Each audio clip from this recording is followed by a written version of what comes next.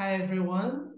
It's so good to see you after so long a while. I'm just so glad to introduce you to a new series, a basic chemical pathology series. We do have a lot of topics under that, very, very interesting topics. And um, I'd like to start with water in this series. And usually, um, while starting with water, I like to take the subject biological uses of water in the body, which you may think is a very simple subject. Let me tell you a story. You know, one of those days I was teaching in class, I wanted to introduce water and I asked the class, so what is or what are the biological uses of water in the body? And I got answers like, it's used to wash the car, it's used to cook food, it's used to wash clothes, clean up the kitchen, uh, wash everything, make. I'm like, wow. With every answer I got, my mind got blown away. And from that day, I like to take every little thing and make sure that, you know, my students understand what we are doing because that is what we came here to do, to learn.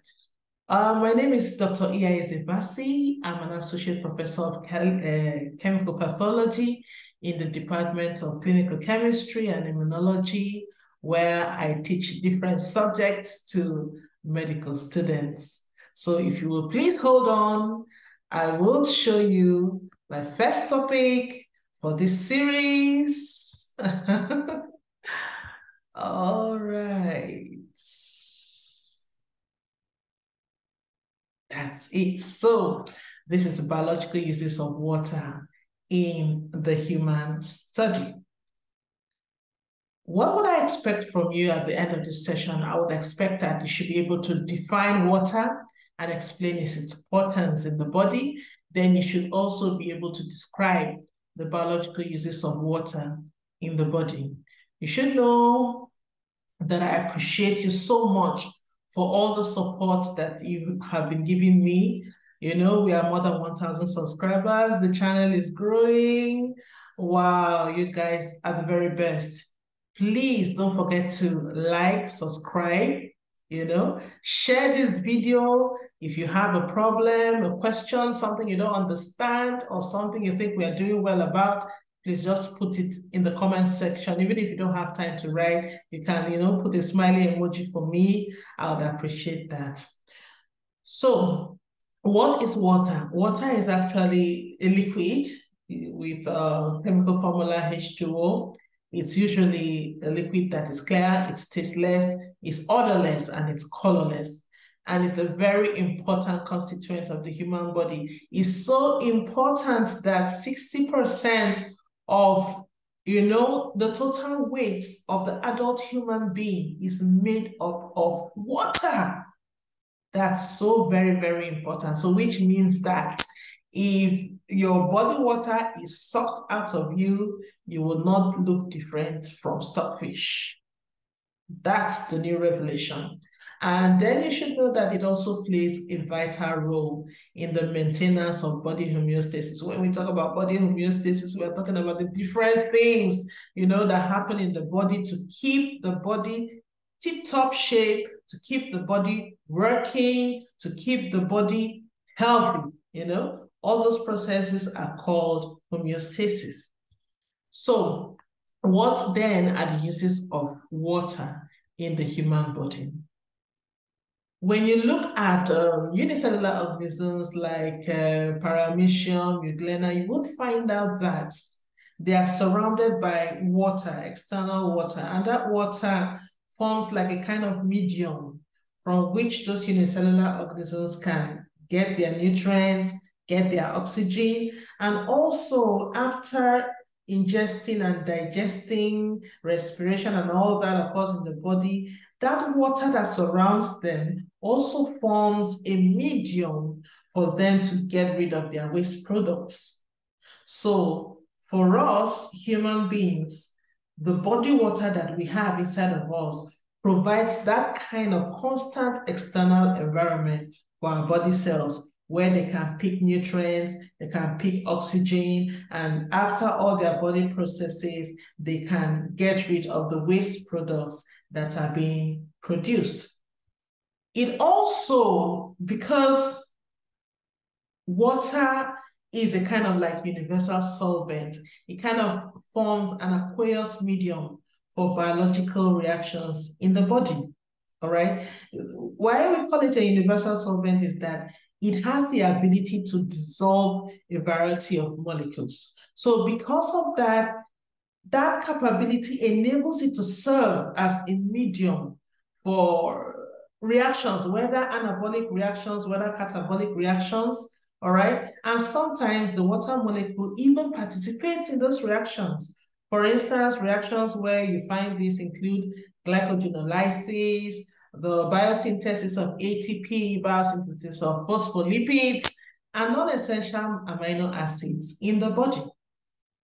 Thirdly, it is a major component of body fluids, whether you're talking about synovial fluid, whether you're talking about amniotic fluid, amniotic fluid, this right here is amniotic fluid where the baby is suspended, whether you're talking about aqueous and vitreous humors that you find in the eyes, saliva, blood, and lymphatic fluid, it's a major component. Excuse me. So it also has some regulatory functions because it helps in the regulation of osmotic pressure, blood pressure, body temperature, acid-base balance, and as well as electrolyte balance. So you can see that water is very, very necessary. Wow, it also helps in uh, transportation because of that its ability to be a universal solvent. It helps in transportation, whether you're talking about nutrients, whether you're talking about waste products, are you talking about drugs or their metabolites? Are you talking about transporting cells like blood cells, sperm cells? Are you talking about transportation of plasma proteins? Name it in the body. Water forms, you know, aids in the transportation of uh, these things. When we talk about excretion and elimination of toxic metabolic waste, water is heavyweight because it helps us to get rid of toxic metabolites and waste products through the urine, through sweat, through feces, you know? So you get rid of water in those ways, or get rid of waste products in those ways, all right? Then it also quenches thirst. Talking about thirst, all these videos. I'm thirsty. I need to rehydrate. so drinking water helps you to quench thirst, thereby preventing dehydration. And then when you drink water, it helps to maintain the turgidity of body cells because if you're dehydrated, if you look at a person that is dehydrated, if you look at the skin, the skin is kind of like dry, wrinkled, and all that. That is because the cells have lost their turgidity. But when you drink water, the cell becomes full, you know, and turgid, and it helps you to look fresh. Okay. Then water also moistens the body, uh, you know, the skin, the nose, the throat, the eyes, everywhere. So when you take water, it's a form of moisturization, you know, for your skin and helps you also to look fresh. It also helps to maintain skin elasticity. That is why if you look at somebody that is dehydrated and you pick up the person's skin, it's not elastic.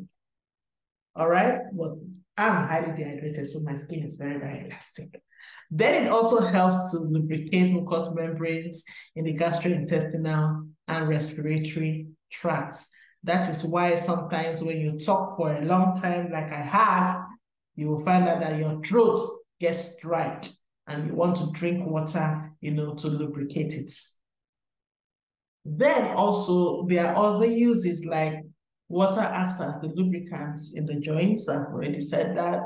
And um, it also helps in mastication when you're chewing your food. The saliva helps to mix up the food in your mouth and then it goes down to your stomach, and digestion takes place. All these, you know, processes need water. Very, very important. So with these few points of mine, you will know that water is very, very important. But I'm going to give you an assignment before I go. I want to, to look for more uses of water in the body. When I get to class, I will look at what you have and grade it. So having come to the end, I want to say you are my MVPs. I don't have any other person like you. So please learn to subscribe, learn to like, to comment on the videos. I want to also say thank you very much to fppt.com for their slides and using their free templates. And those templates are like awesome and they're free. So thank you so much for the use of your templates. Bye. Till I see you another time, take care and bye.